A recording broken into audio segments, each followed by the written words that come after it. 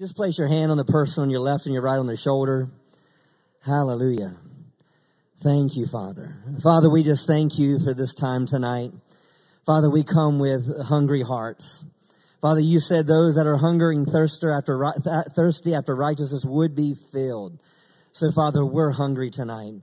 We're hungry to receive. We're hungry to be changed from the inside out. Holy Spirit, you are welcome in this place.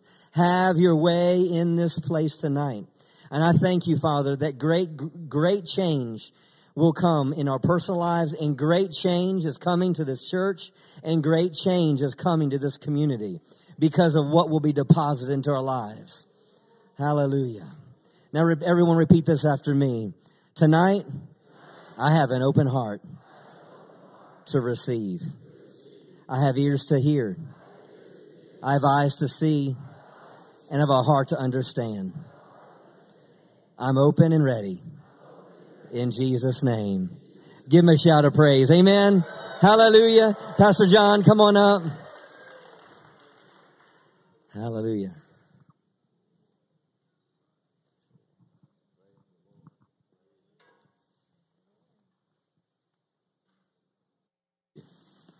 Praise Jesus. God is good. Well, once again, it's a joy and an honor and a privilege and a pleasure to be with you here this evening. And uh, a lot of what we do when we do prayer is we practice. And uh, we practice because practice is, is really a lifestyle of learning. Uh, so I want us just to practice praising the Lord with our hands raised and just thanking Him just praising Him for 60 seconds. I'm going to time it. Just 60 seconds. We praise you, Lord. We thank you. We thank you, Jesus. We praise your holy name this evening, Lord. We bless you. We glorify you. We honor you. We thank you that you always lead us to triumph in Christ Jesus. Thank you that we are a new creature. As a new creature, we come with authority and boldness and strength into your presence this evening, Father. And we just bless you with the fruit of our lips, the, the, with all of what's in our heart. We praise your holy name. You are mighty. You are glorious. You are the God that is more than enough for every situation in our lives. We praise you, Jesus. We praise you, Jesus. Hallelujah. Now only with your voices, step it up for 15 seconds. Praise you, Jesus. Praise you, Jesus. Praise you. Praise you, Jesus. Glory to your name, Lord. Glory. Hallelujah. Hallelujah. Praise you, Jesus. Praise you, Jesus. Hallelujah. Let's do 10 more seconds. Hallelujah. Hallelujah. Glory, glory, glory. Mighty is the name of Jesus. Glorious is the name of the Lord. Hallelujah. And Father, your let your praises fill this temple. Let your glory fill this temple this evening, Lord. Hallelujah. Hallelujah. Hallelujah.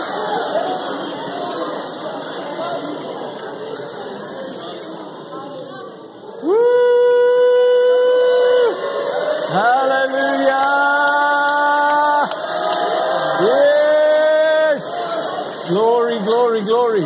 Glory, glory, glory, glory, glory, hallelujah.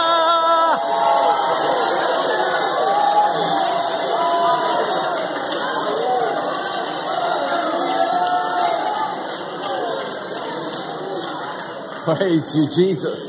Praise you, Jesus. Isn't that good? Isn't it good just to take all restraint off and just praise? And just praise and praise? Glory. You may be seated. I'll tell you that uh, what, what I just did with you now is really what I learned from Brother Jerry. And I learned it in the early 80s of the previous century. and uh, I was, I was struggling to make it. I was poor. I was in debt. I had two children. Didn't know what to do next. I did have belief in God though. I did. I had belief in God. But I heard a message from Brother Jerry. He Satan can't steal your joy. He can't keep your goods. And when I heard that message, I said, well, I, I don't know him. I just heard his message, but I didn't know him then, but I'm just going to do what he says. Because if this is a messenger that God sent into my life, then I must just do what he says. And so those days there were no cell phones. They didn't have car phones. They didn't have, you know, so if you were driving in the traffic and you were talking, you looked a bit mad. You know, nowadays if you're talking in a car, people think you're at least on a cell phone or something. You don't look so crazy talking on your own in the car like, nah, nah, nah, you know. And people even, uh, you know, if you've got hands, hands-free kit, people still do this and they, you know, and it's okay because cell phones, you know. But then there was none of that. So if you went crazy in the car, you were really crazy. You know.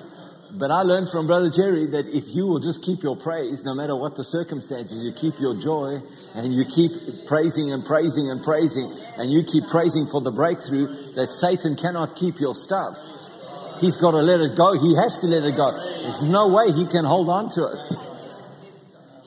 And ever from that day till now, I practice that in my home. We practice that when we praise together, Pastor Sharon and I. I practice it by myself. And uh, it's been a lifelong habit that we praise, and especially when it gets difficult. Especially when it looks like something's locked tight and it's not getting loose, then we know, okay, it's really time to praise now. Because if we praise and praise and praise, then Satan can't keep my goods. Hallelujah. Praise the Lord. Praise Jesus. And so, uh, uh, you know, one of the things that has really been a, a, a tremendous breakthrough in our lives uh, is I heard Brother Jerry speaking sometime last year. I heard Brother Jerry speaking. I don't know if it was a previous message that I, I don't recall exactly if it was a previous message of his that I was listening to. Um, the hundredfold return or sowing in famine actually is the title of the message, but he didn't call it that he was preaching in a message. It might have been in one of Brother Copeland's conferences. It might have just been something I was listening from long time ago, you know. But that thing began to roll around in my heart. And this is where a personal prayer time really begins to count. Is if you're a person who is wanting to have a relationship with Jesus, then things begin to happen in your spirit. And things begin to continuously flow in your spirit, and then words come out of your mouth. And uh, I'm going to read you a scripture in here in a minute, and, and just to show you that a prayer life is not is not something where you have to uh, you know, the era that I grew up with, you used to have a quiet time. Yes? Well, as a teenager growing up, quiet times were really painful for me. You know, because I didn't want to be quiet ever. You know, as a teenager, you want to be moving. You got energy to burn. You've got places to go, things to do. You know, who wants to go have a quiet time? You know, besides which I was up early and going to school and carrying on it. And yet I knew I was serving God and I learned to have a walk with God in my school life where my walk with God was very much day to day, moment to moment, interactive time with God. And uh,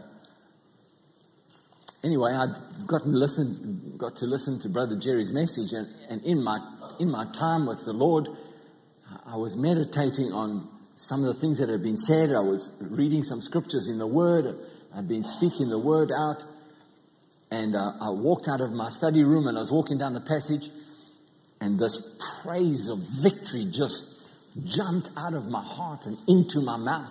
And before I knew it, I was walking down the passage and I had my hands up and I was praising Jesus. I was praising him for victory. I was praising him for victory over many things. I was praising him for victory. And, and suddenly I knew that, that I had got victory over areas in my life. Hallelujah. And then the rest, when you have that kind of faith jump in your heart and words come out of your mouth, then the, the, the physical, uh, the physical demonstration of it or the manifestation of it is just around the corner. Because then it's already done in the spirit. So Pastor Sharon and I are different kind of prayers. I shared this with you last night. You know, I do spend time privately, quietly, alone with God in a special place. But a lot of my time that I do is I'm active, I'm traveling, I'm moving, I'm always, and I learned to pray when I was in the military and I learned to pray when I was in the business world. Because in the business world, I'm faced with a 10 hour workday at least. And I'm faced with customers, I'm faced with employees, I'm faced, faced with business activities. And so, how do you pray? And, and uh, you know, the Apostle Paul says we should pray without ceasing. And so, if that is an instruction to pray without ceasing, then it means you can't drive your car and close your eyes. Right? That means you pray all the time. So then prayer is not so much about what you do with your knees or where you've put your bum or, or what door you've closed to get behind, although that is important. I'm not minimizing that. But what I'm, we are wanting to help you with is encourage you in a spirit of prayer which means you are constantly aware of this communion and communication that you're having with God, allowing His word to flow in you and through you and letting His words come out of your mouth. Because when His words come out of your mouth, then those words begin to create your world. And then the world that you create with the words that He's put in your heart begins to change everything. Everything. Praise the Lord. I want to just read you this passage of scripture in John chapter 15 verse 7. And I'm reading again from the Amplified Classic and it says, if you live in me, if you abide vitally united to me, and my words remain in you and continue to live in your hearts. Remember I said yesterday that words matter. So whatever words you have in your heart are the words that are going to come out of your heart. So if my words abide in your heart, and remain in you, continue to live in your hearts, ask whatever you will, and it shall be done for you. Is that not prayer? Ask whatever you will, and it will be, will be done for you. Right? There's no only some things in here. Ask whatever you will. So how do you know whether you're asking the right thing? Well, it's found out in the previous part of the verse. If you're abiding in Him and His words are in your heart, then what's coming out of your heart is what He wants for you. And so I've discovered over many years that people want to pray what words they find in themselves, not the words that God wants you to put in yourself. And so if you're just praying the words that you find in yourself, then who knows where those words came from to come in yourself. Maybe they came from the TV about politics. Maybe they came from family members. Maybe they came from different places. But if you just find words in yourself, and those are the words that come out in your prayer life, then that's not going to accomplish much. Amen? Hallelujah. I'm going to just continue this for a moment. When you bear and or produce much fruit, my Father is honored and glorified. This comes right off the scripture. Let my words abide in you. Ask whatever you want and he'll do it for you. And now he's saying, when you bear much fruit, my Father is honored and glorified. In other words, prayer life is directly connected to honoring and glorifying God because what's in you is coming out. It's His word that's coming out. You're abiding in Him and those words that come out, He just answers them. And when He answers them, it produces fruit and He's glorified. Come on, this is a victorious Christian life. So I, part of my mandate that I have from Pastor Justin and Annette is to, is to help you and encourage you to see prayer not as something that you have to Ah, well, it's prayer time. It's not another prayer meeting, is it? Because who wants to go to a prayer meeting? It's boring. It's dull. Well, when we get done with you, you're going to be begging Pastor Justin and they say, when are we having our next prayer meeting? When are we having our next prayer meeting? Because, because, because we're full of the word and we want to be fruitful and we want to be having many results and being effective. And look what our prayers are doing. Hallelujah. Prayer life is anything but boring. It's like saying having a conversation with God is boring. Well, if your conversations with God are boring, I venture to say maybe it's the words you find in you, not His words that are in you. Because if you're just regurgitating what words you find in you, then that's boring. May I, may I be bold enough to say it's both boring to you and God? Right? I mean, think any of your emotions and stuff that you're going through is a surprise to Him? He's been hearing people say those things for thousands of years, and here you are thinking, I'm unique. I think he doesn't know what I feel. So I'll just tell him about the words that I find in myself. Well, go ahead. He's listening, but do you want to glorify him and honor him and produce much fruit? Well, then those words are going to be in you and let them come out. Hallelujah. Praise the Lord. So, my Father is honored and glorified, and you show and prove yourselves to be the true followers of mine. It's like people want to say, I'll serve in the church, and you should. You know, and I'll do this, and I'll do that, and then you'll know that I'm a disciple. That's not what he says here. Alright? What he says here actually is, um, if you glorify and honor my Father because his words are in you, and you ask whatever you want, and he's glorified and honored, then you will show yourself to be followers of mine.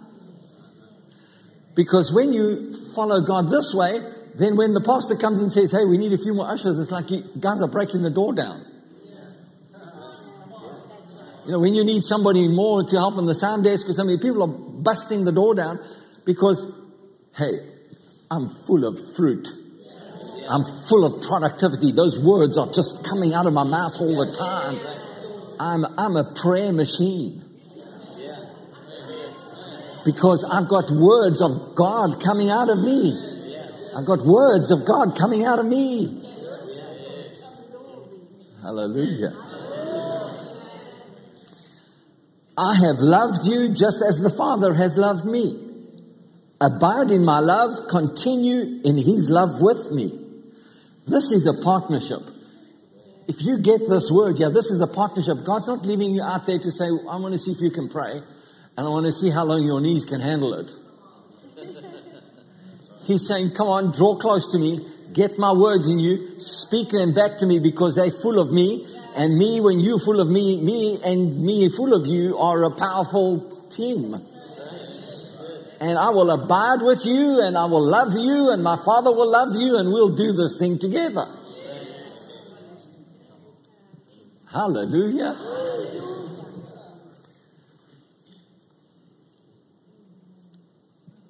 If you keep my commandments, if you continue to obey my instructions, you will abide in my love and live on in it. Just as I have obeyed my Father's commandments and live on in his love. You really want to know about the true love of God? This is how to do it. You just abide in him, and he puts things in your heart to ask for.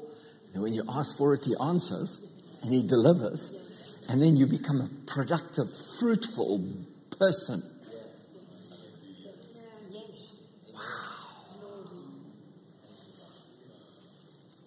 One of the things that I sowed a seed into Brother Jerry's ministry was, with, was that we, we our multimedia uh, ministry would, would go to a, a new level.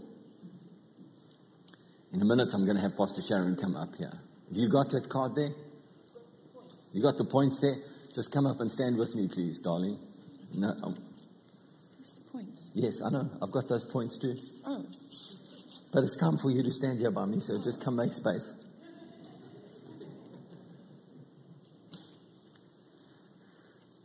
So, I just want to, I just would like to explain to you what happened was, was we sowed the seed, and one of them was multimedia, that we would have growth in our multimedia department. And uh, I want to just explain to you how this works. When I woke up that morning, with praise of victory in my mouth, you understand those are words that I had been putting in my heart.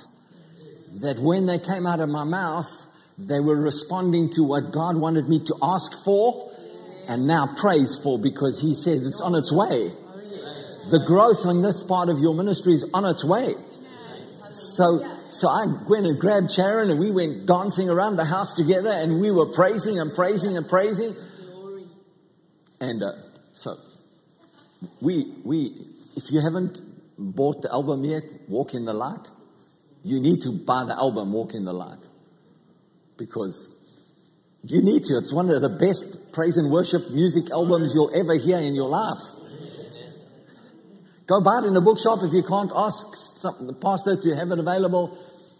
That album was, the songs were written by my son. And so we decided we were going to get a real, one of the top guys certainly a really top person to produce the album for us. He's known in, in the USA, and he produced the album. So I don't want to hop too much, but if you don't get that album, you're missing out on a great worship time. I want to kind of give you the eagle eye here if you haven't bought that album.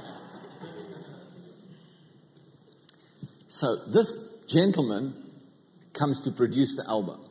Now he's, he's such a great artist. I would put him in the category technically talented like a Phil Collins. You know, I mean, he can play drums, he can play bass, he can play electric guitar, he can play, and he can play all of them as well as he can play the others. He's so well sought after in South Africa and the world that, you know, he's just a well sought after guy. So I'm, I'm praying one day, spending time with the Lord, speaking to Him, communing with Him, His words abiding in me. And He speaks to me in my heart and He says, Ask that man to come and help you take your music to the next level that I want to take it to. I said, Sir, speaking to the Lord, I said, I don't know if he's saved. He said, I didn't ask you to tell me whether he's saved or not. I told you, go and ask him to help you with the music. I said, I don't know if he even believes in faith. He said, That's not your business.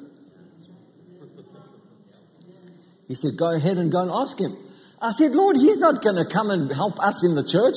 He's such a big name, such a big guy. Why is he going to come to our church and help us with the music? So he just went silent on me, like, you know. I told you now what you're going to do about it. So I went to my son Garth, who's and to Pastor Sharon, who's in charge of the praise and worship in the church as a, as a, as a minister. And I said, This is what I believe the Lord wants me to do. They said, Well, it's on, it's on you. You know, it's like, the Lord told you it's on you, you know? Yeah. So I asked Garth to phone him and for him to come and visit with us. And so he came and uh, sitting in our, in, in my office, my study. I said to him, Look, this is what we want to do with our music. This is where the Lord wants us to go with our worship. And I said, I don't have the technical ability within my team to do this. I don't even know how to assess how technically good or bad they are. And if I did know that, I wouldn't even know, and neither does Garth necessarily. He can hear, but he doesn't know how to take them, grow them to the next level. And or whether we need to get other musicians that, that God might want to call into our ministry but because we're not proficient in this, in this ministry, they don't even think they can come here because they wouldn't be taken care of because they can't see the talent care. You know, it's like you hear these guys buying quarterbacks and buying all kinds of running backs and things like that. Well, you're not going to attract one of the best running backs of the world into your team if you've got a poor coach. He's going to look at the coach and say, well, I'm not going there. He's going to stunt my career. You get what I'm saying? So I said to him, I want to ask you, will you come and work with us? He said, uh, he went quiet for a little bit. He said, let me find out what you're asking. And he, he threw a few things out at me. I said, that's what I'm after. He said, yes, sir, I'll come. I said, what? It's like, I almost expected him to say, you know, something else. He said, yes, I'll come. This is what he said to me. And he said, I'll bring many musicians with me that want to come. I said, tell me why. He said, because today, sir, you have given my talent purpose.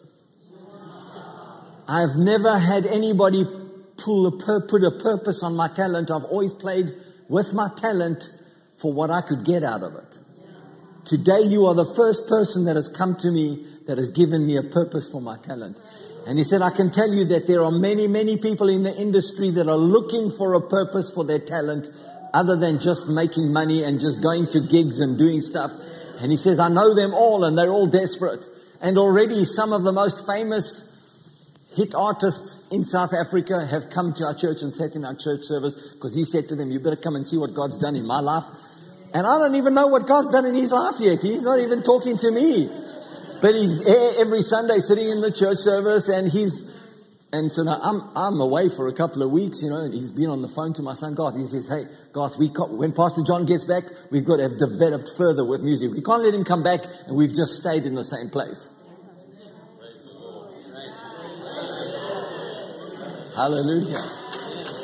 Well, we well, here's the thing is we sowed our seed, We prayed and praised. we prayed and praised, and then we got the whole church to in corporate prayer to begin to pray with us and believe with us corporately.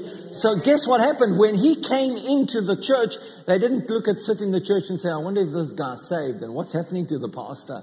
And is the pastor smoking his socks? Oh, that's a South African thing. It's like, has he gone a bit crazy?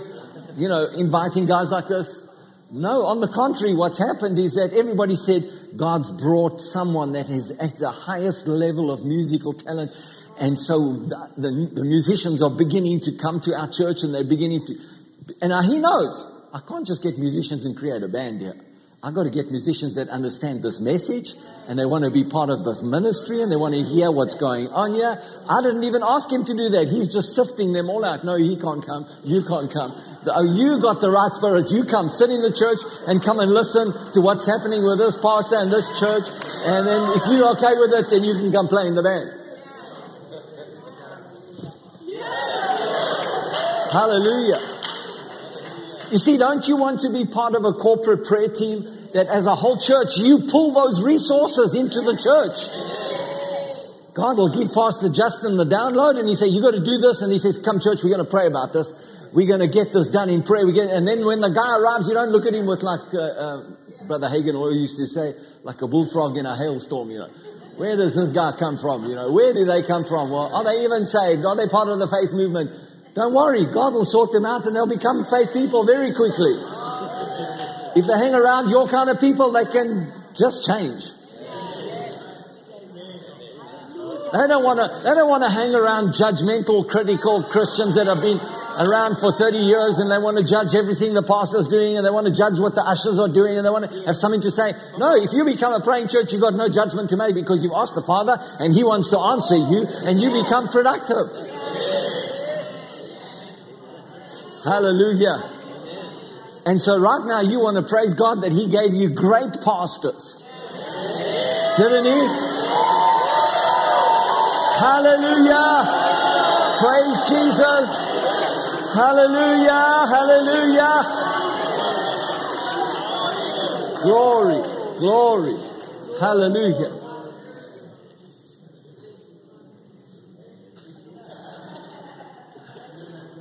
What's that, sir? I'm especially grateful because I don't have to pastor. Yeah, exactly.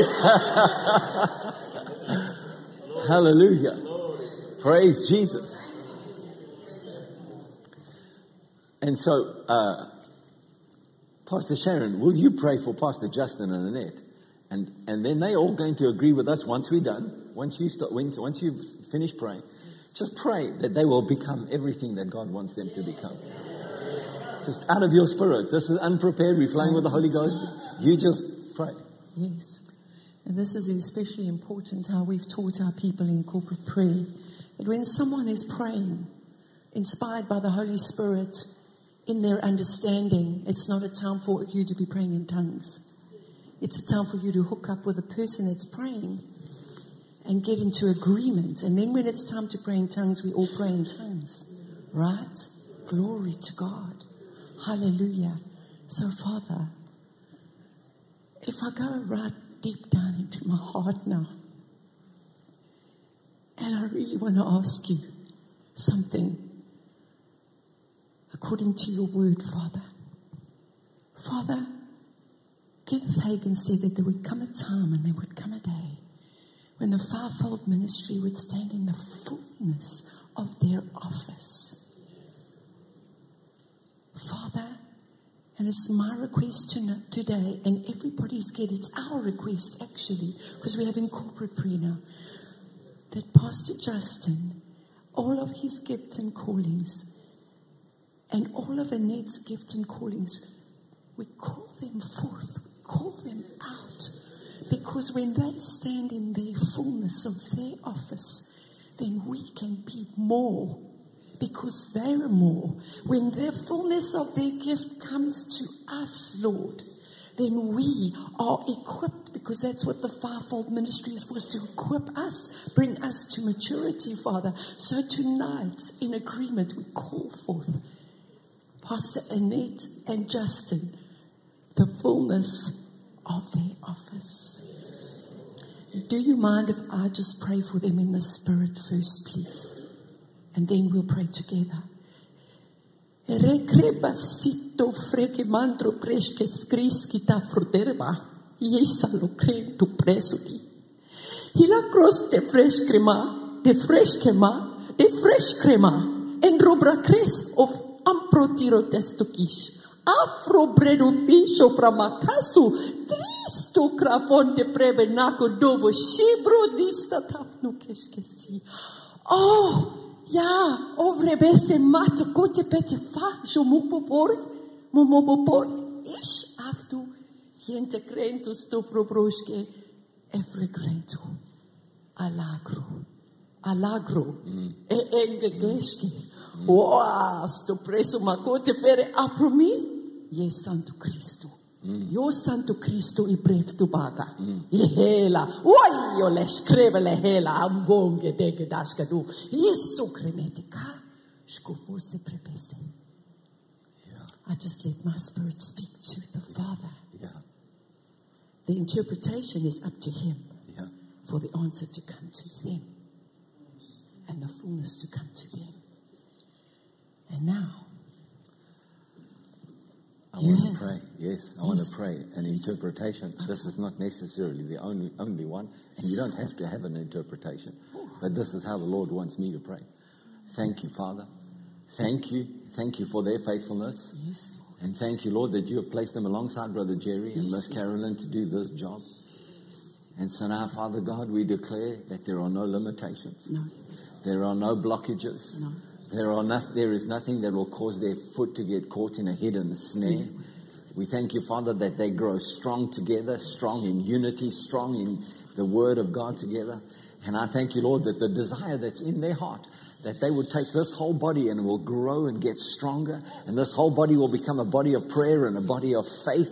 We thank you, Lord, that this materializes through them. This is birthed in them and it flows through them to the people, Father. Hallelujah. Hallelujah. Thank you, Lord. Thank you, Jesus. Glory to God. Glory to God. And now, as a congregation, we let our spirits speak to you further about the fullness of the of what of what you've called them to do to come forth, Father. Yes. We uh, we let our spirits speak to you now, Father. Yes. Reguta. Rombo. Rogesh Holy. Ebrega. Tromonde di gista. Compresta pramala cose. Eneme kendo bereva shikro de Remondran lebasa de trebolo gelebesa. vrokos And the takabato medico, kose. Oh, boro shabro kita bra. andadaro. Rodeshe. Omba Rebagandra mondre. Redegisho compre tilibreri losta hambanda la bara. Matukote prebeseresi. Ti mandi in un mondo sombrondos carabarabo telebre bati. Vorrebbe ghissa trabara vorrebbe ghissa che ne mandi. Si basso bolo bote ghishi. Cavara botre. Tremendre tre bode shege brege sandra mandi. Mia masha kana manda bagoso boro diskiri trolo brala raio. Jeha to kolo Grosse. Sima noshi kolo monde gesa kalabata la bote le betro begishan. Simando shokole vreta bolo kroboste kalabraba. Oh, can we praise Him for that? Can we praise Him for the answer for that? Oh, yes, Lord. Hallelujah. Oh, thank you, Father. You've already Hallelujah. interpreted this heavenly language, Father, and the answer's already on its way in Jesus' name. Hallelujah. My babes, Yes. is there something you want to pray personally or shall we, shall we What just move on from do, here? Well, I, I, I want us to do the next step and I want you to stay here with me. Yes. So this book, uh, this, this book is, is the Holy Weave, the Glory book. So you remember that Brother Jerry had a word, show us your glory. And so what we did was, yeah, these are his eight messages. So he came to our church and he came to minister at the beginning of last year. It wasn't last year, was it? The year before that. Yeah. And, he came and he brought a series of eight messages over a period of week to us. And so what we did was we took uh, a brief synopsis of that message that he preached on that day or that night, and we gave the brief synopsis in the book and then a confession, a declaration, which we wanted to have everybody sow seed as a corporate church. So we didn't do this just because Pastor Sharon and I wanted to do this, and, and, and this is important for us to have what Brother Jerry said in our ministry. We wanted everybody in our ministry to have the same growth. Yes. Yes.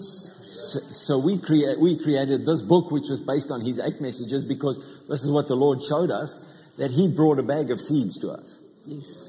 Words. And, and, and if I have an encouragement for you today, I want to say that every Sunday, the pastor brings a, a seed to you. Brother Jerry, if he's preaching here, brings a seed to you. What you do with that seed becomes the, becomes the, the course of your future. Yes. If you do nothing with that seed, all it was is a seed that came to your life and perhaps it fell on hard ground. And the birds of the air came and pluck it away. What birds? Any kind of activity that's going on in your life plucks it away and you don't even remember what the pastor preached last Sunday.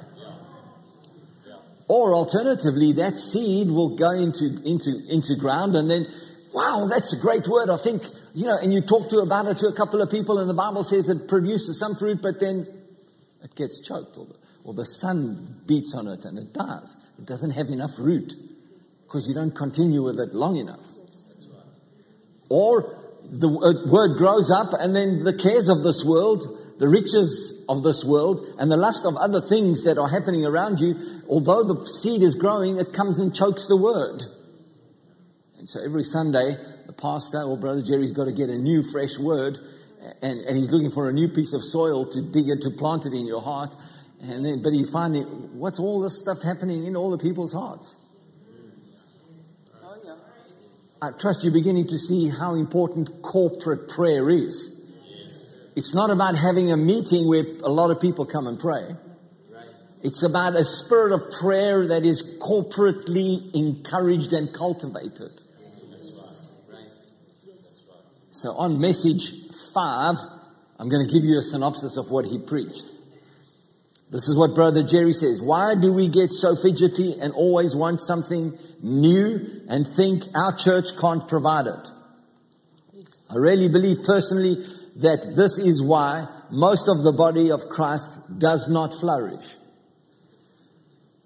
they may experience some blessings from time to time. They might experience some breakthroughs from time to time, but they don't flourish because the Bible clearly says in Psalm 92 that the righteous shall flourish. And those that be planted in the house of the Lord shall continue to flourish. Yes. So we're going to talk about planted before the weekend is up, but I'm, we're already touching on it. But wouldn't it be a whole lot better to look out across an audience and think, man, these people are planted. Hallelujah. And the Bible says that those that are planted in the house of the Lord, they're going to flourish. So don't be so quick to move. Don't be so quick to, you know, go to latest thing that is happening. Don't follow fads, follow the word. If you, if you stay planted and we all have that attitude, dear Lord, what do you suppose would happen in our church services? What do you think would happen in our church services? If you all became steadfastly planted and then you begin to get to corporately connect with each other through the messages, because that's going to be the anchor. A lot of people go to church because of the fellowship. Fellowship can't anchor you because you are going to get offended with somebody somewhere along the line, and then you're going to stop the fellowship and go and find another church to fellowship with. Fellowship is important, but it's the word that holds you together. We would no longer have church services. We would have encounters with God every time we came together. Can you say amen? Praise the Lord. You would have to lock the doors to keep people from spending the night in there. May it happen so, Lord. In this church in Crowley. Hallelujah. And this is, this is the declaration which we, the seed that we have made for everybody available in our church. They, they still have this book. It's still online. They can still get it if they need it, if they if they've gone through it and they need it. But we chose to put a copy in their hands and then make it available as an online booklet as well. I carry mine on my iPad. I brought this to show you because my iPad can go with me everywhere. And this little book can too. You're right. But this little book becomes another little book, becomes another little book, becomes another little book, and then before you know it, going to, especially when you're traveling overseas, it becomes a lot of books. Anyway, I can't really get distracted. You distract me, babe. Always have, your whole life. This is what we said. My generation will see the glory of God. This is our declaration based on what Brother Jerry preached. My generation will see the glory of God. God intends to show us His glory. So when is it going to happen? When the church starts hungering for it. When the church starts praying it in. When the church believes what he says. We are getting closer, praise God. We're getting closer. Well, what have we seen in this week? Praise God. God doesn't need the whole rest of the world. He just needs a few people. This goes on. I don't want to read the whole thing to you, but I'll read a little bit more to you. We've got the Father. He's the, he's the Father of glory. We have the Son who is the Lord of glory, the King of glory. We've got the Holy Ghost who is, who is uh, referred to us, the Spirit of glory. See the glory in the Godhead, Father, Son, and Holy Spirit. So we make this declaration. Our seed that we sow into our hearts. Now, guess what? If you've been doing this every day in the week based on the last week's Sunday message, what happens to you when you come to church next Sunday? What's, what's in you that brings you to church next Sunday? It's not, well, I think let's see what the pastor's going to preach today. And maybe my favorite person will be playing the guitar and that'll make me feel good. you know? And, uh, well, they give coffee in the, in the, you know, outside afterwards, and that's worth going for. And hey, I've got to go to church somewhere, so I might as well be here where things are pretty nice. And I feel inspired, you know, to win and overcome in life when I've left here.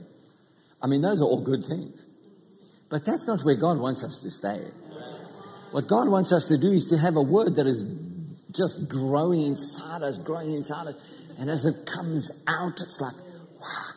Now imagine what happens when you all are praying this in the week, y'all, you know, you all are praying this in the week, and then you come into the foyer and you begin to talk to each other, what kind of words are going to come out of it? What are you going to find in your heart? What kind of words? Those are God's words that you've been speaking to Him, you've been speaking for Him, and you've been changing the atmosphere around you. Everywhere you touch, you've been speaking these words for a week. When you come to church, it's like, what's the pastor going to preach? And when he starts preaching, it's, yes, preach it, brother, preach it. Ah, glory to God. And suddenly what happens is that the seed becomes a harvest. And the harvest begins to bring the presence of God in here. Your heart becomes better able to receive. Yes. Hallelujah. Hallelujah. Praise the Lord. We will talk some more about this, right? Yes, we will. How the Lord taught us where we were planted for 19 years. He taught us to listen to our pastor's message every Sunday and meditate on it throughout the whole week and take seed from the message to sow into our hearts. It's how he taught us. We could never understand why people in our large congregation would come to us and say, Have you read this book? Have you listened to that message? Did you hear that preacher? We were so busy getting so full of the Sunday morning message. I didn't know where people found time to do that. You know what I mean? And so I just, and that's how we found in, our- that's, that's what we s- tell our people in our church. You have got too much already for the whole week from the one meal you get on a Sunday morning. It's already too much. If you've ever even tried it to take that Sunday message and the few scriptures that have come powerfully and just meditate it on during the week, it's like, um, I'm already going by Friday, Saturday. I just, so much that I get it all because Sunday morning's message is coming. So now that's what being planted is. It's not coming to church. If you're a plant, you get planted, your roots are going, you've got the root, you've got the word seed going in you bearing root and growing fruit. The word seed that God gives the pastor that he's seeking for the seed from the Holy Spirit of what to bring us every Sunday. And the Holy Spirit saying, These are the words, Pastor Justin, these are the words. Or like Brother Jerry said, I heard words 2020. 2020, I heard words. What are you supposed to do with those words? The sower sows the word. You're supposed to sow the words you hear here in this place. You're planted here. You're not planted everywhere. Should I go sit down now, baby? This is enough. Sure. Glory to God. I'd like you all to stand for a minute, please. Do you want me to go sit down? No, just stay here. If we had to quit preaching tonight, right now, you would already have enough knowledge and understanding about how you can't separate your individual prayer life from a corporate prayer life. And how uh, you can't just come to a corporate prayer meeting with a certain condition and think, well, I think I'll go there and I'll be, let the people pray me into a better state of mind. You know, I mean, that's not why you go to a prayer meeting. When you go to a prayer meeting, you're coming with the supply of the Spirit and you're coming to bring your gift and your calling and you're coming to help. You're coming alongside, you're coming to do something significant. Hallelujah. And so I would like us just to praise and thank God for, thank God for 60 seconds that the words that have already been preached find root in our hearts and find proper execution in this church as we give thanks, it will be done. We ask you, Father, that as we give thanks, this will be done in this church. We thank you, Lord. Praise you, Jesus. Thank you, Lord. That there will be proper execution of hearing the word, receiving the word, living and abiding in the word, and then speaking it out corporately in Jesus' name. Hallelujah. Praise you, Lord. Thank you, Father. Thank you for this whole body of believers that are hearing your word tonight. That they are being changed, that they are immediately being impacted by the word. And not one word will return to you void, but it will accomplish everything that you have sent it out to do. That this is a house of prayer. This is a powerful house of prayer where the fervent, effectual prayer of righteous men makes much power available and is effective in its working, Father. Hallelujah. This is an effective, producing house of prayer right here in Fort Worth, Crowley. Hallelujah. Praise Jesus. Praise Jesus. Praise Jesus.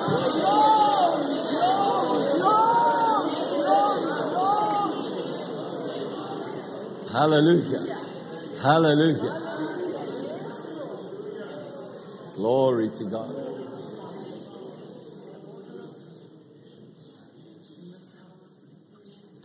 Thank you. You may be seated. Thank you, my darling.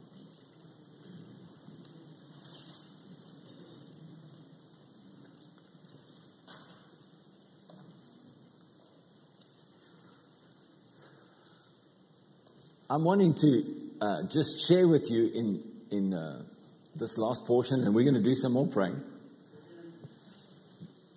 Are you all enjoying this prayer meeting? You see, this is this is a pattern of how we can pray.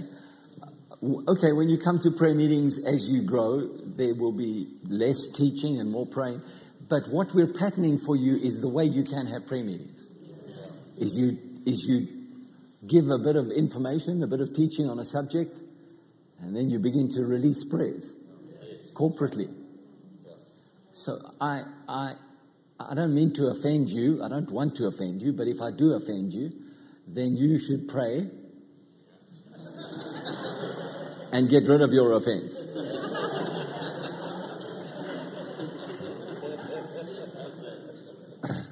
like I said last night, there is no right or wrong way to have a prayer meeting, although I think there are many prayers that are more effective, more powerful, and are dynamic and make power available to work than other prayers. Like if I pray my emotions and I pray what words I find in myself, well, God hears them, but that's not a surprise to Him. He can't do anything with it. Only the Holy Spirit can maybe comfort you a little bit, but that's all you might feel is a bit comforted. Well, if you're living as a Christian that's looking for one comfort after another, guess what? Your whole life is just going to look for one comfort after the other. And then you're never going to grow up and mature as a Christian. So what you need to do is be someone that says, hey, I want to become a producing, fruitful, powerful believer. By the way, just so that you know, the most powerful believer on the earth is not a fivefold minister. The most powerful believer on the earth is a completely dedicated disciple. Because if you're a preacher that's called to preach, but you're not a disciple, your gift is wasted. If you're an evangelist and you're leading people to the Lord, but you are not a disciple, your gift may work, but before God, you're not accomplishing much. Because it's just your gift working. It's not the Christ in you that's working. Hello. So the most powerful believer on the planet is not me as Pastor John. It's not an apostle. It's a disciple. Now, when you have a, a true disciple who is in the office of a pastor or a disciple, then you've got a powerful dynamic duo that God always intended. Which is why the apostle Paul said, I beat my body daily. I subject myself. I put myself under so that I don't disappoint you in my character and my lifestyle. Because I understand that the Christ in me needs to be the powerful person in me. The disciple in me needs to be the powerful person. I'm just a messenger to deliver the rest. Hallelujah. Praise the Lord. Praise the. So, I mean, this is a pastor's dream, right, Pastor Justin? Where you got a church full of disciples and they don't, you know what a disciple won't do? It won't hang around every corner questioning what he's doing. Why? Well, because you've received the word. You've been meditating on the word. You're abiding in him. The words are abiding in you, and you're speaking the words, and you're asking Him, and He's uh, delivering for you. And so when you come and you hang out in church, it's like, Pastor, we're with you, man. We're with you. We are with you.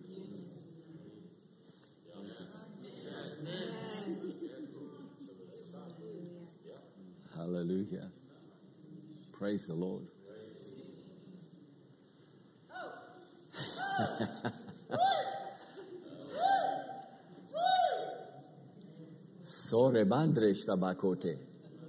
Praise the Lord.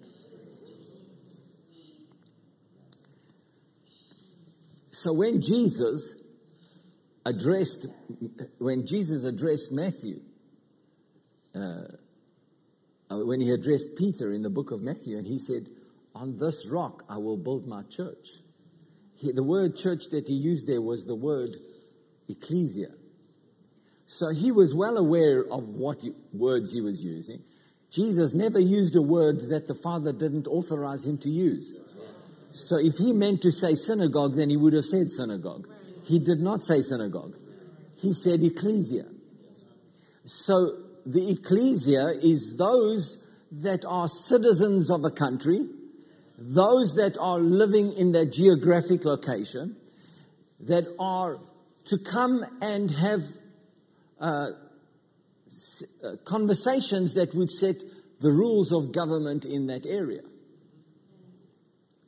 So when God, when Jesus said to, to Peter, this revelation that Jesus is the Christ, the Son of the living God, on this revelation, I will build my ecclesia. What he was do using is he was saying, the revelation of who Christ is to you will build an ecclesia and the gates of hell cannot stand against that ecclesia. So that ecclesia means that's a citizenship of people that are called in a location and they are called together by a council and they would normally send out someone who would be a caller and he would call them out and say, we're having ecclesia, we're having ecclesia. And what that meant is that we're going to discuss matters of importance of governance. So if you want to hear what's going on in, in, in the community and you want to have a say about what's going on in the community, come to the ecclesia. So when Jesus called Peter and said to Peter, on this revelation that Christ is the Son of the living God, on this revelation I will build my ecclesia and the gates of hell cannot prevail against it or will not prevail against it. What's he saying? He's saying, I'm on the revelation of who I am, my words abiding in you, you can become the governing, ordering, ordaining, commanding, rule setting people in that region, in that territory, in order for the government to work so that the gates of hell cannot stand against it. So why do you think the church is in such poor condition? The church is in poor condition because the church is, doesn't understand ecclesia. So I ask you tonight, believers, do you want to be part of an ecclesia church? You see, if you're an ecclesia church, you're committed to the community. You're committed to stay there. You can't just say, I don't like the way these guys conduct ecclesia. I think I'll go somewhere else. And oh, well, that doesn't sound so good. I'll go somewhere else. If you're called to an ecclesia, and certainly Heritage of Faith is a, is a well established ecclesia. How do I know that? Because the message that is being preached here is a message that is the truth in the Word of God. Not only that, it is properly orchestrated and structured according to the Word of God, with apostolic oversight, pastoral oversight, and a, and a structure of leadership in the church. It's a proper church. So how do you how do you orchestrate ecclesia? I've heard this. Uh, so, first thing I'm going to say is, at this point in time, Pastor Justin has appointed me tonight to be the facilitator of an ecclesia. Normally, he would do it or someone else would do it, facilitate an ecclesia. We're talking about corporate prayer. Okay. So we're facilitating an ecclesia. Now I, if we are going, the way that you are sitting now and the way you're paying attention, it means you're listening to me, you're interpreting what I'm saying.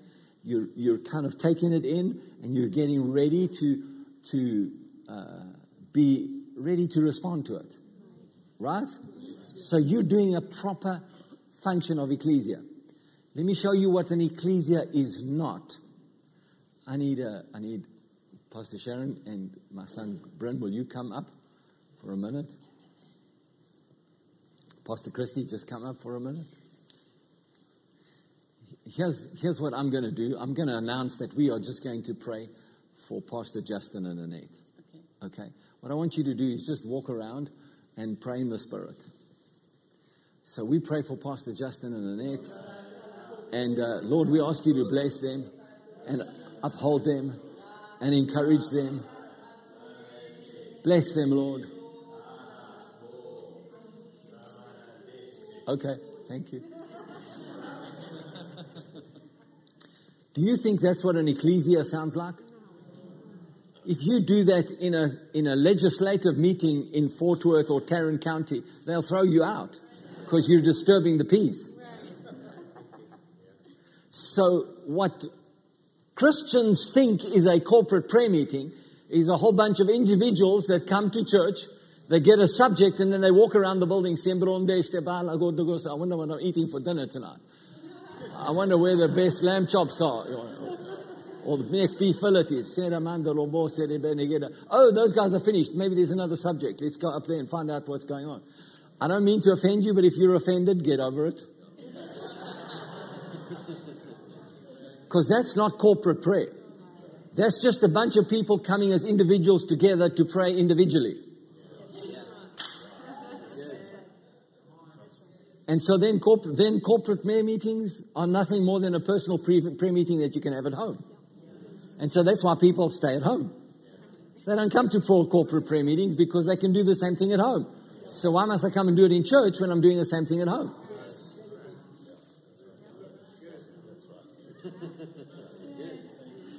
So again, you know, if you choose to pray like that, you know, it's better you pray than you don't pray. And it's okay, I mean, you know, pray on your own, fine. You can do whatever praying you want to do on your own. I'm just sharing with you that we have pressed into God for many, many years because we recognize that unless you have a praying church continuously, we've heard this from all of the men of God that have put us into our lives, that prayer is one of the most difficult meetings to keep alive. It's also one of the most important things that you can ever do in a church is to pray. So how is it possible that prayer meetings keep closing down and yet it's the most important thing to keep alive? Well, there's not, maybe it's not what we're doing, it's how we're doing it.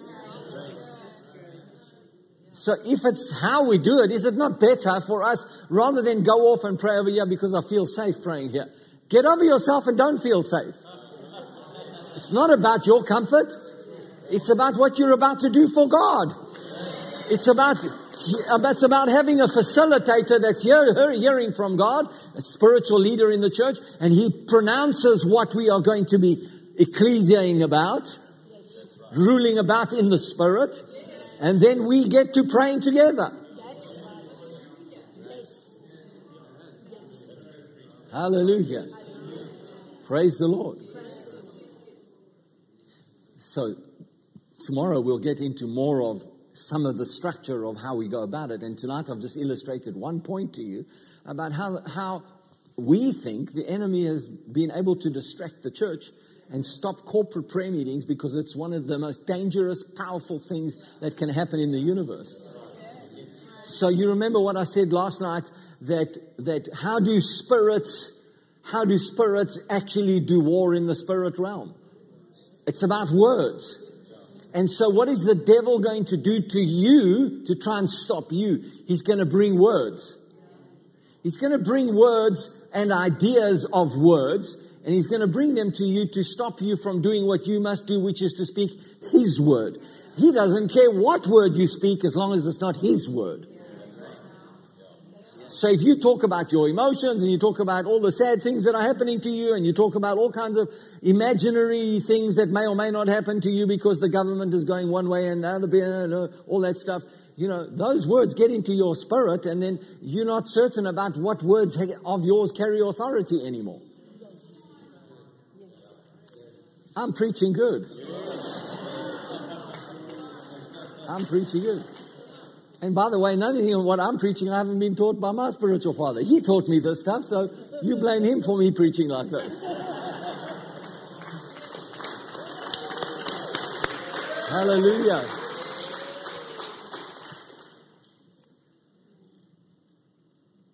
And so, if we are going to be people that are properly going to execute corporate prayer, then we're going to be a people that if we have a, if we have a little book that has got a message, so what we do, I mean, this is what we do.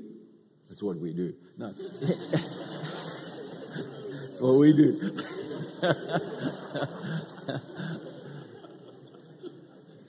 so, so this has become a, a, a, a structure in our church, and I'm just sharing what we do because we we take the words that preachers preach from our pulpit seriously. Because if God has sent a messenger with a message to preach to you, then He's designed that messenger and that message to have maximum impact for your life. And if you think, and I don't mean to name names about any, if you think some other tele evangelist or tele mighty preacher, event, guys that are preaching out there that leave you well motivated, that their words are more important than the words where you are supposed to legislate, where you are supposed to be an ecclesia that's ruling, then what you're doing is you're, you're hearing stuff that God's called other people to do or not. And you're hearing their stuff and you're bringing it into your ecclesia and saying, well, we should be doing that stuff. No, what you should be doing is hearing the word that God's bringing you, then receiving it and meditating on it and letting build on it, and then you pray back words that He wants you to pray, and then when you come with those prayers, you as a body begin to legislate what God called you to legislate in the Spirit. And so, again, if I if I'm shooting some holy cows, then let them die. Don't try and resurrect them.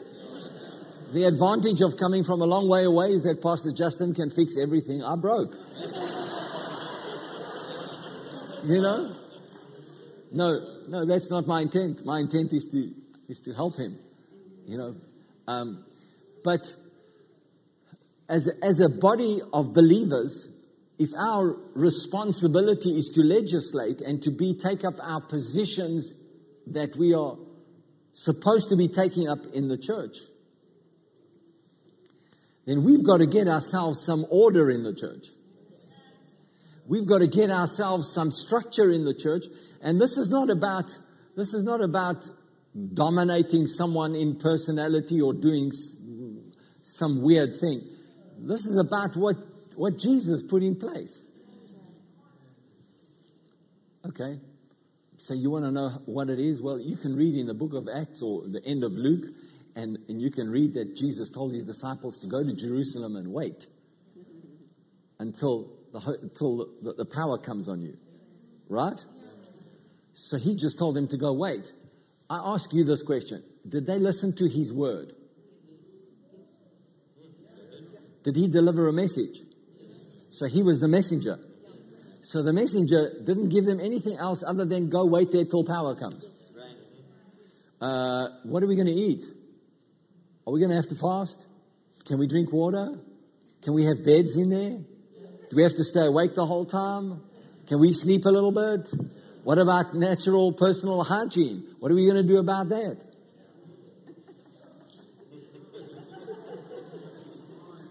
I'm trying to say to you that when you allow your natural man to take over, then you allow many words that are in you to stop obeying the word that God gave you. And you allow all those details of planning and organizing and everything to come into a place where you forget what God told you. And so what your first step is, let's go obey, and then we find out when everybody's thinking, maybe we let five people out to go and wash.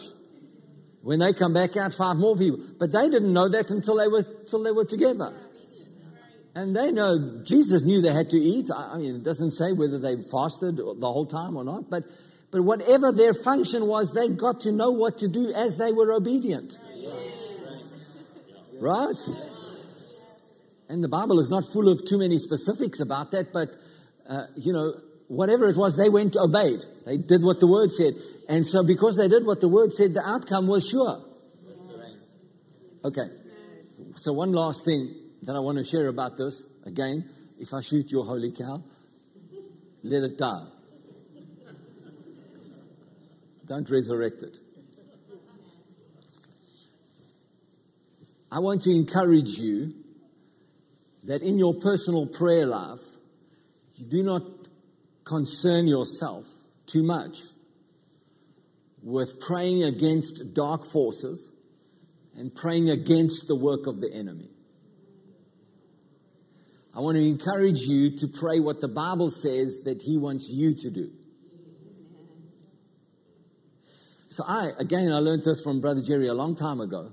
He asked this question. He said, is it better to have a, a financial miracle or to live in financial prosperity? So financial miracles are good, but they mean you keep having to depend on a financial miracle.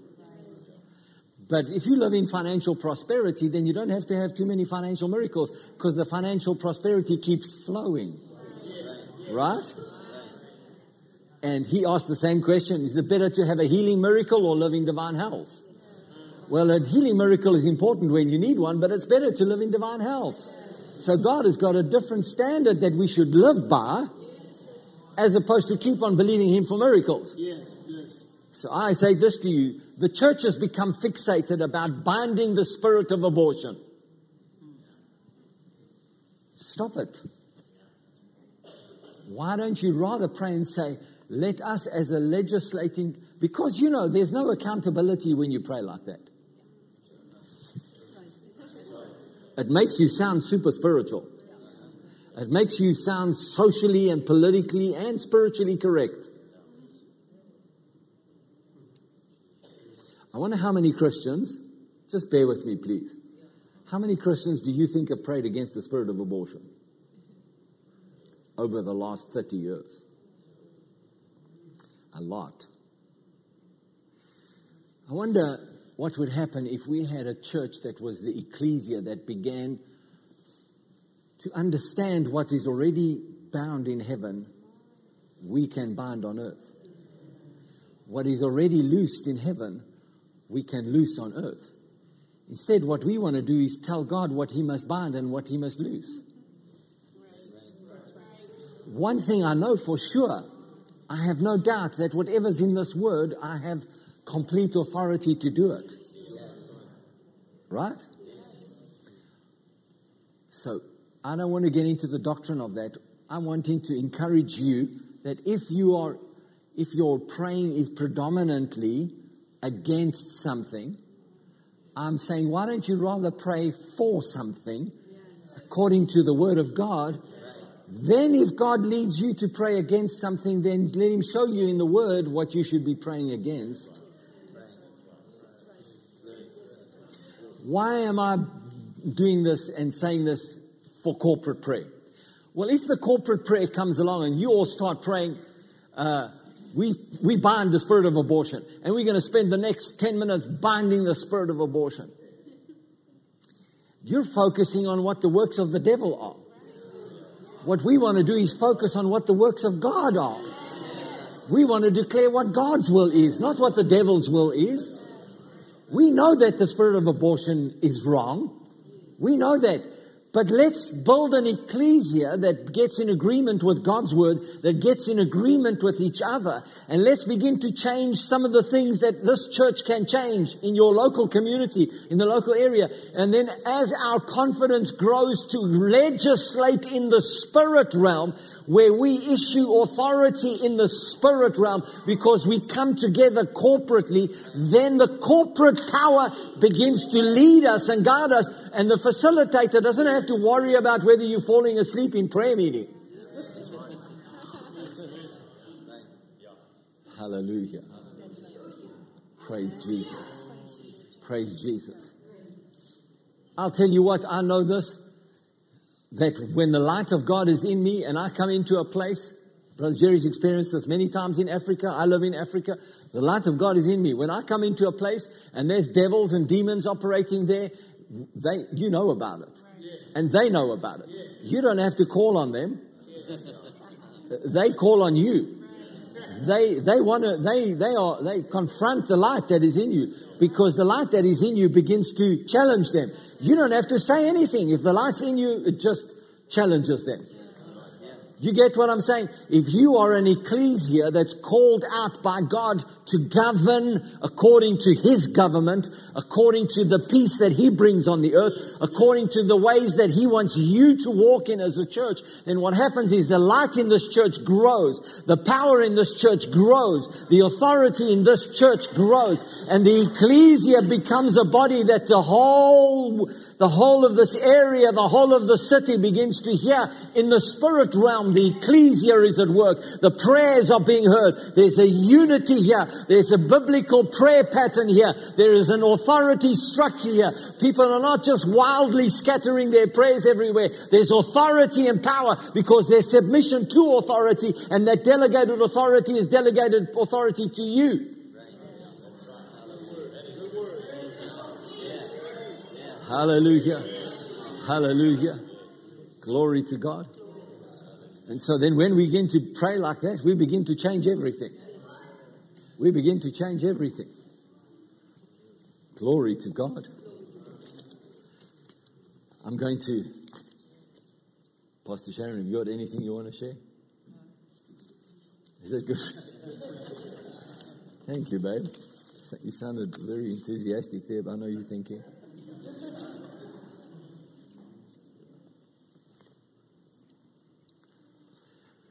So we have a we have a we have worked very long, hard on our in our ministry to build a people that are prayers. I think Pastor Justin and Annette had a taste of that when they came to South Africa. We know how to pray. And, and I thank you, Pastor Justin, for having the courage, really the courage and your conviction to have us come here I appreciate you and Annette very much for, for opening the, the, the platform and the pulpit for us to come and preach it. I too, uh, it takes courage because we know that every time we have gone to a place where we have taught this, it's changed the church, it's changed the leadership of the church, uh, it's changed the way that they've been able to function, and it's caused things to come about in churches that where they've been struggling to get things done for many years and they get it done. You know? But it does require some changes. And so thank you, sir, for allowing me to be bold. And I know I'm in a son in the house, Brother Jerry's house, and thank you, Brother Jerry, for letting us preach here. Uh, I'm going to just finally just read this to you because we have a every Sunday, every week, we pray for our government, we pray for our nation. And so I want to tell you that when I started this process of praying for my nation, I, I'm honest with you when I tell you that I did not have faith in my prayers that my nation would change. I'm having an honest moment with you. But I heard Brother Copeland say, he, long time ago, he said, God's instruction in the Word of God is that you must pray for your government. And you don't have to believe what it does, you just have to believe what God's word says you must do. So it doesn't matter whether you are praying and seeing any results, you just have to believe that your prayers will bring results.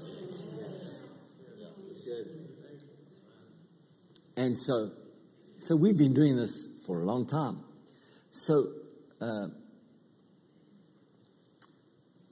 we had a really, really corrupt government, which I can say, thank God we have a new leader in government who's not corrupt, and he's been the leader of this government for about 18 months.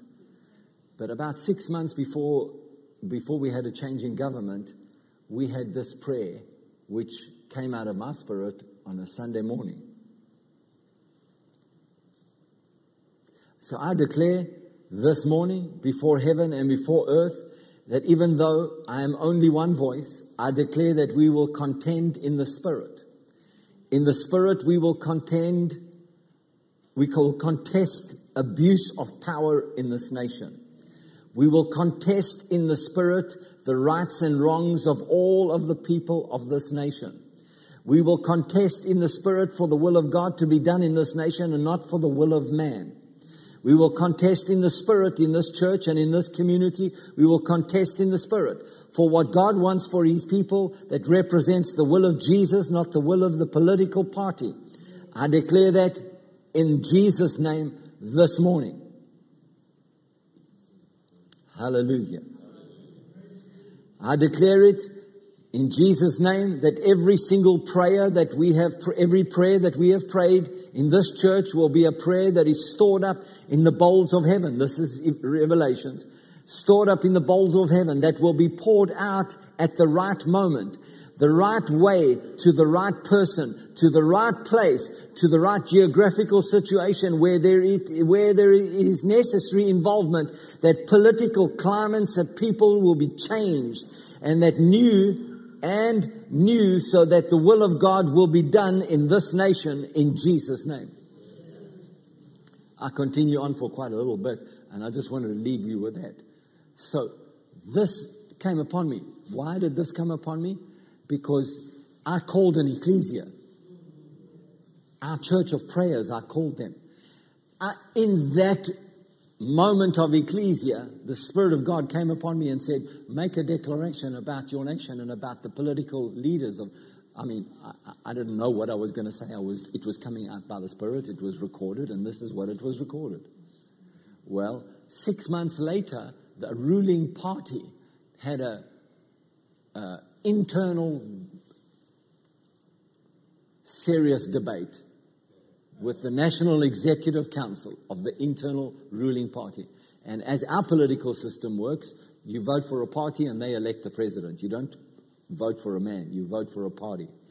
So the party decided the current president is so corrupt, we've got to get rid of him. So they appointed the guy that's in there now, who's a Christian, a born again Christian. And he appointed a special a special council against corruption that's headed by one of the best judges in the nation. And just last week, that corrupt president was ordered by the highest court in the land because he said, uh, too much time has gone by and the facts are all going to be wrong, and so I don't have to stand trial. And that court said, your, misdeme- your misdemeanors and your deeds that you did wrong, you're going to stand trial for it. Hallelujah. I, I know there are many other people praying in South Africa for this, but I'm trying to indicate to you that when you are a people that are constant in prayer, God will use your prayers to legislate what His will is for a nation. And finally, I say, it was Brother Hagin that said, it was Brother Hagin that said he had a dream and God visited him.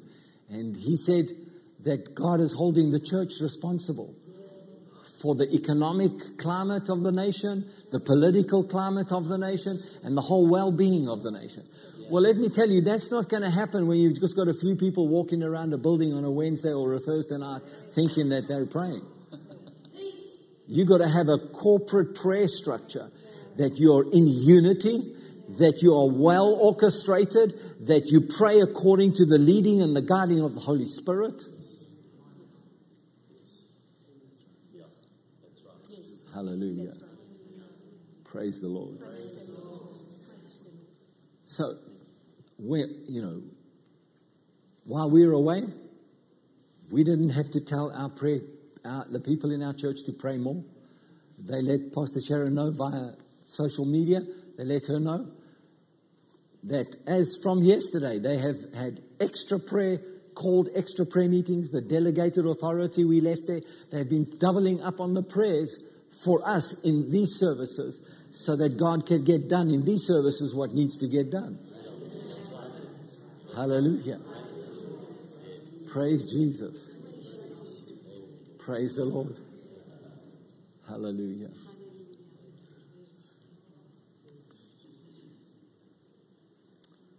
Praise Jesus.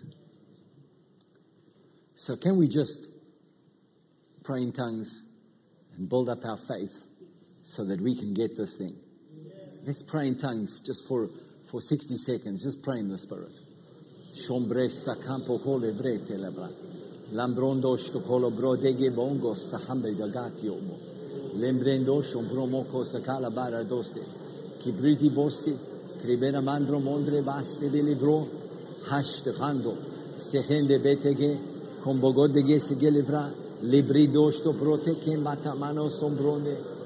Ambramas andro monto koshe.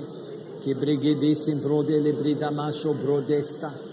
Ya aso se emete omote elemeke te mote kamakando kosokolo mote ke sibriti kimbramato son probote se kebrekete ambrasho lele hese le valaliti yolomote pamako sobrobo kosobrote shebrebagantrobo I bashakana manda barakasada.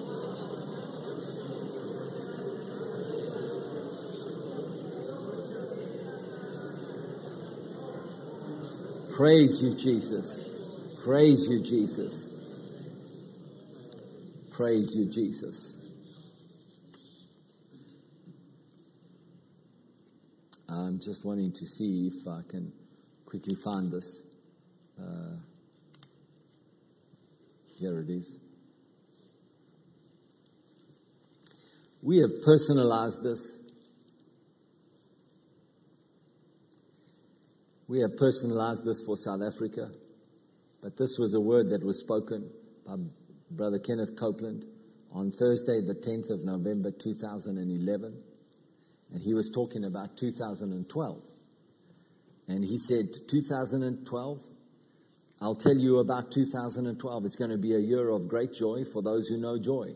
It will be a time of marvelous breakthroughs. This is a time of victory. It's a time when people begin to realize that my word is a living word, that my spirit is a living spirit, and that you are my voice on the earth. And your voice is the voice of victory. So rejoice and shout and understand that the breakthroughs that you've sought and watched over, prayed over, stood in faith for, are don't turn loose now. Don't turn loose now because they're at hand. They are at hand. They're on top of you right now. Praise God. Have no worry. Do not be in fear about America, don't be in fear over the failure of this nation. This is not the time for this nation to fail. I'm not, a, I'm not done with it yet. It, it may come as a surprise. This nation is not done with me yet, says the Lord. Hallelujah. We have a job to do, and this year will be like no other where this nation is concerned. And many will say, Oh, woe it is us. And, and you know what? Oh, woe will be them. And there will be others that will say, oh, we can't win. We can't win. And to them, we, they can't win. Ah, but to those of them that say, ha, ha, ha, this is a time of greatness. America again. And it is my nation and it is God's nation and we are right where we are supposed to be. He has, he has right where he wants us and our future is bright because God is still Lord over America. Hallelujah. That was done in 2012. I wonder if that word came to pass. I wonder if that word came to pass. I'll tell you what, church, the way it comes to pass is God begins to deal in the hearts of people that are spiritual leaders and they speak words out of their spirit by the Holy Spirit. Then it requires an ecclesia church to take that word and to begin to govern with that word in the spirit and begin to speak words together in unity and in power and strength that will cause it to come to pass. We are not supposed to be a weak church that doesn't come to prayer meetings. We are supposed to be a powerful church that can't wait to come to prayer meetings. Hallelujah. Praise the Lord. And, uh, I, you know, Pastor Sharon and I, we've spent lots of hours actually preparing for this conference, not because of what we needed to get, it was actually what we had to leave out. And so we're doing our, our, our best by the Holy Spirit to give you the highlights of what we what we know and what we do so that we can leave enough deposit in you from the years that we have learned. And I want to add this. Tomorrow morning, Pastor Sharon is going to do some amazing praying with you. She's going to, she's going to, she's got that activating spirit. She has. We recognize it. I recognize it. And I rejoice in it. Hallelujah. And so she's going to do a lot of the work tomorrow. But uh, I want to say to you that most of what we've learned, everything of what we learned, we've learned by studying Charles Finney, Brother Hagin, um, Brother Copeland, Brother Jerry, Dr. Yonggi Cho. You know, we visited, we, we, we visited Brother Cho's church um, in South Korea because we wanted to glean some things about prayer. And uh, if you've read his book, um, called The Fourth Dimension. You will know that in his book he says, Many people from America come to my church that's got over a million people in it, and they want to know what the secret of my success is. And he says, I tell them, it's prayer. And so, and then they want to know, but what else are you doing? And he says it's prayer. And, uh, but what else do you do? It's prayer. And he says this you can stop preaching in my church, you can stop home cells in my church, you can stop marketing my church, you can stop doing anything else in my church, and it will survive. But if you stop praying in my church, it will die. So he says, This is what American pastors do. They come and visit me, and then they go back home and they start to connect with their network of friends to see how they can make a difference.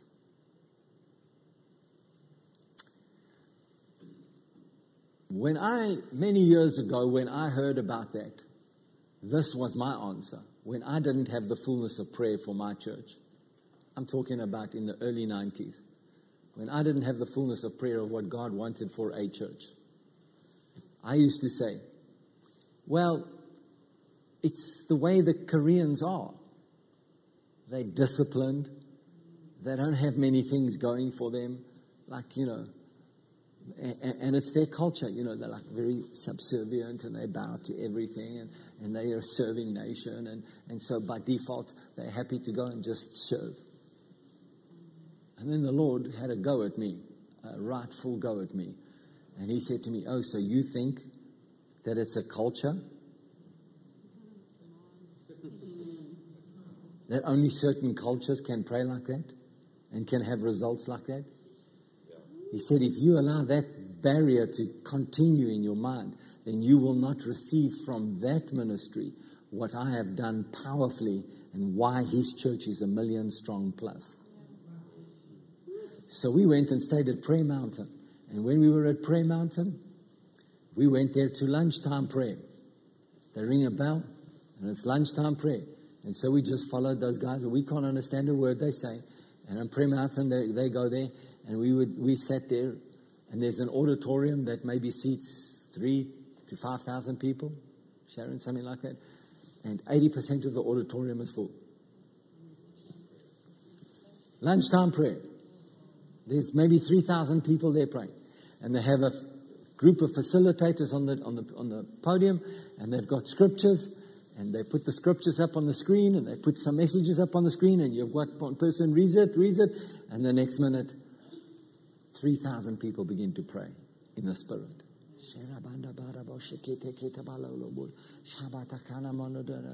And then they start out, and then they read the next thing, and now the new scripture gets put on the screen. 3,000 people get praying. That's not an Asian culture. That is an ecclesia. And that is why South Korea is a prosperous nation that has survived many, many things, is because the church has risen up and become significant. Hallelujah. Won't you stand with me, please?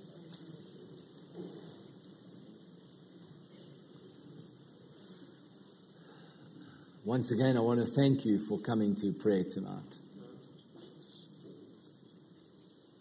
Ideally, we, we uh, do not have prayer meetings that last for more than an hour and 15 minutes, ideally.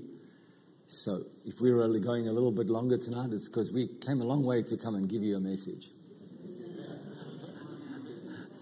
Hallelujah. But, but we will teach on some of these things tomorrow so that when we come into Sunday church, you are already ahead of the game and then you can help Sunday church become something that is completely different as far as prayer is concerned. Because that's our mandate for this weekend is to teach on prayer. Hallelujah. Praise the Lord. Won't you just thank the Lord for what He's done? Thank you, Jesus. Thank you. Thank you. Thank you, Jesus. Praise you, Lord. Praise you. Praise you. Praise you, Father.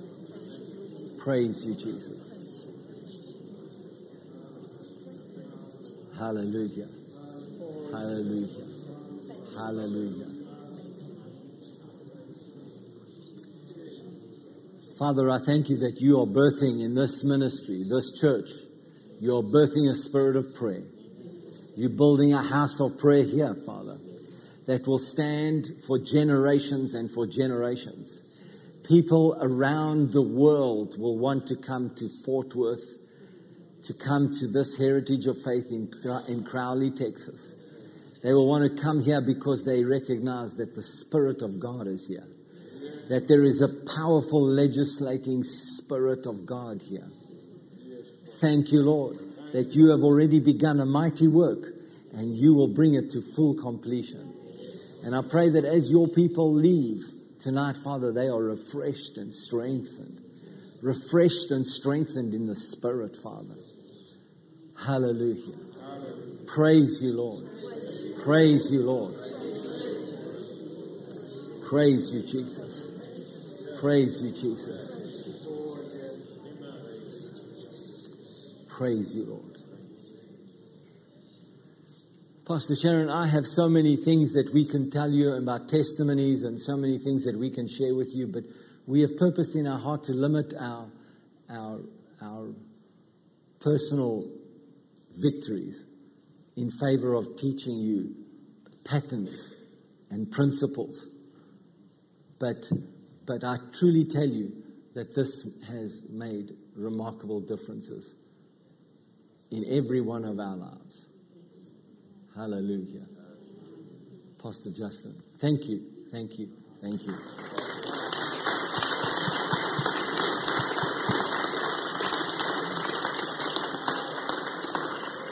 Thank you, Father. Man, you received that tonight. And what, what a, just a rich time. This presence of God is so sweet here. Amen. And, you know, it's still, we have still tomorrow, Sunday morning, and Sunday night. Man, have you received something? You know, I, you know, just a couple weeks ago when we had our anniversary service and, and was preparing, preparing for that and the Lord speaking to my heart about, you know, we had coming out of 19 years, going into 20 years and that's why the Lord put in my heart that we are a house of faith. We are a house of prayer. We are a place of glory and we are a people of influence. Amen. That's, that's who Heritage of Faith is. And this is a house of prayer. Amen. Man, man, we could stay here all night. and wow. We're looking forward to tomorrow morning. Now, tomorrow morning, it, it will, the sessions will start at 10, but the doors are open at 9, and we will have donuts and coffee. But hear me, we're going to stop serving donuts and coffee at about 9.40 or so, okay? And because we want you to be done eating by the time the service starts. No one wants, wants to see you chewing while, while, while they're preaching, okay? So, so, um, so anyway, we're, we're gonna try to limit that. So you get here at nine, nine fifty, you're like, well, I want a donut. Sorry, too late. You should got here at nine, okay? Um, so anyway, that's just, uh, just, just here we can, we can just, to flow here because there's, there's important things here happening and, and some people have a tendency they'll get up and is there any more donuts out there? I'm not, no, you know, we don't, you don't, we don't have any distractions, right? Because, because they're here on assignment. They're not here to play church and we're here to receive assignment. Amen. Amen. So Father, we thank you for what we've received so far, Lord, and, and I thank you that it is in our hearts and, and I thank you, Father, that we, we are, we are a people that are building our house upon a rock. Not just people that hear a word, but we are doers of the word. So Father, we receive the word and we commit to be doers of it. And this is transforming us with an explosive change in prayer. We thank you for it in Jesus' name. Amen. We'll see you tomorrow morning.